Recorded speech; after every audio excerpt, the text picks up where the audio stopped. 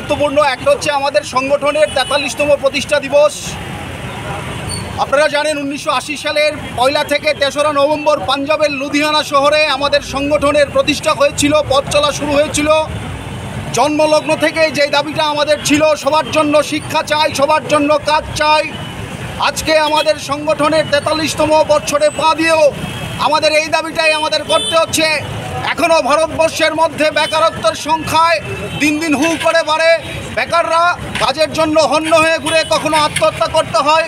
ফলে আমরা লক্ষ্য করেছিলাম দু হাজার চোদ্দ সালে যখন নরেন্দ্র মোদীরা দেশে দেশের ক্ষমতায় এসেছিলেন তারা বলেছিলেন বছরে দু কোটি বেকারের চাকরি হবে।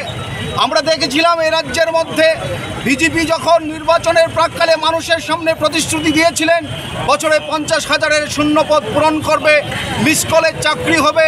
বলে আমরা দেখতে পাচ্ছি এ সময়ের মধ্যে দাঁড়িয়ে একদিক হচ্ছে কেন্দ্রের বিজেপি সরকার, একদিক হচ্ছে রাজ্যের বিজেপি আইপিএফ জোট সরকার। এ দুটো সরকার এই বেকারদের সাথে দিনের পর দিন প্রতারণা করে চলছে। শুধু এটা না, আমরা দেখছিলাম বামফ্রন্ট সরকার যখন এই রাজ্যের ক্ষমতায় ছিল, তখন তিলে তিলে রাজ্যের শিক্ষা ব্যবস্থা, বেকারদের কর্মসংস্থান সহ আরও অন্যান্য সামগ্রিক বিষয়ে রাজ্যটাকে দেশি গোটা দেশের সামনে একটা অন্যতম জায়গায় নিয়ে গিয়েছিল আজকে বিজেপি আইপিএফটির জোট রাজত্বের শাসনে আমরা দেখছি, প্রতিদিন রাজ্যের কোথাও না কোথাও আক্রান্ত আক্রমণ সংঘটিত হচ্ছে।